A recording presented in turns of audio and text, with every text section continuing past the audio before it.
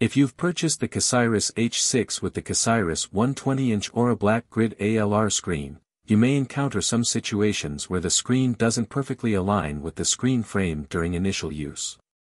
This video will guide you on how to move or adjust the Casiris H6 main unit to make the screen align better with the screen frame. If the image is too large, please move the main unit forward. If the image is too small, please move the main unit backward. If the image is displayed to the left, please move the main unit rightward.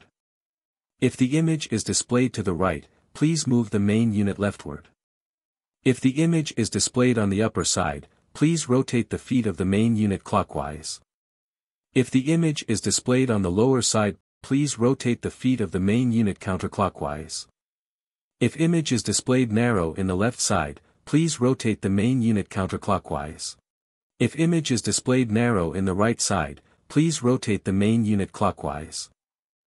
If the image is the left lower than the right, please rotate the front foot 2 and the rear foot 2 clockwise and the front foot 1 and the rear foot 1 counterclockwise.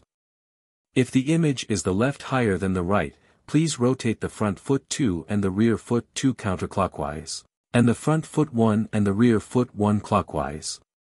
If the image is the top wider than the bottom, please rotate rear foot 1 or rear foot 2 clockwise, or rotate front foot 1 or front foot 2 counterclockwise.